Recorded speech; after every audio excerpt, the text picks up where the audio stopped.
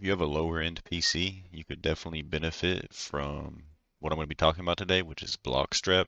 Now you can see already I have the old Roblox menu and I have a lot more graphics bar, which it literally breaks jailbird if I low if I lower the graphics all the way. And there's also reduce motion, background transparency, which is also pretty weird. And you know, it's just it's so customizable. I just wanted to go ahead and show y'all. Now this will be linked in the description. This is the GitHub for the Bloxstrap. And so to download it, you're just going to press right here. I'm not going to press it because I already have it downloaded. But once you press it, and after you install and everything, you're going to be on the Bloxstrap menu, this right here. Now there's a lot of options to go over. I don't even fully understand it yet. I just know it's very beneficial if you have a lower end computer. And activity tracking, you don't really need this. Uh, that's just for the Discord rich presence, which you can see right here. It shows you what Roblox your game, what Roblox game you're playing on your um, Discord if you want to do that. Me personally, I'm not doing that. I'm not showcasing the whole world what I'm playing, but hey, if you want to. And then you have server, see server location when joining, which is amazing. That's what it is right here. You can tell what servers you're on. I love that feature. It's so cool. Nice and simple little feature. Allow multi-instance, so that means you can open Roblox, multiple Roblox tabs, obviously not on the same account. Custom integrations, I don't have anything set up here, but as you can see, once you launch Roblox, it's going to launch something else with it.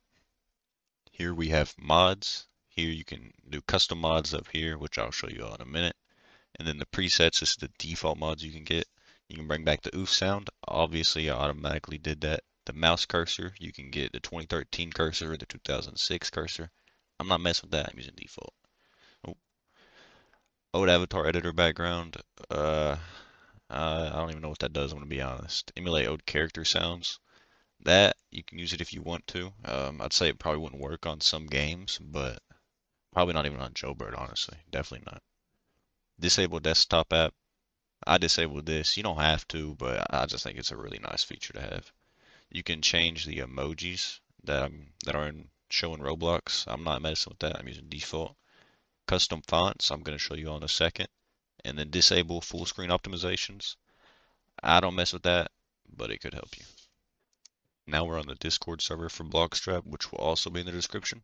Now you can see there's mods on here, custom. This mod right here is one of the most popular ones it seems. It brings back the 2014 era it says. You can see OG uh, chat icons. Don't know what that is. I'm guessing that's the force field. I couldn't even tell you. And then the OG um, player list. And then there's also no water textures, which could help lower end PCs. Minecraft fonts, which is really cool. You all seen that font option earlier. Cursors. I just got a whole bunch of mods in here. Here we have fast flags. Obviously, frame rate limit, you want to max that out, just do a bunch of nines. Lighting technology, do not use the one I'm using. I would honestly stick with chosen by game. Escape menu, your choice, just for looks. Rendering mode, don't change that. I wouldn't change that personally. And then preserve rendering quality, do not enable this if you're focused on performance. Keep this off. And then use alternate graphics quality selector, turn this on. This is how you can make your graphics lower automatically. That's how I was doing it earlier. And then in the Discord server, you can see fast flags right here. They have custom ones. I just found some.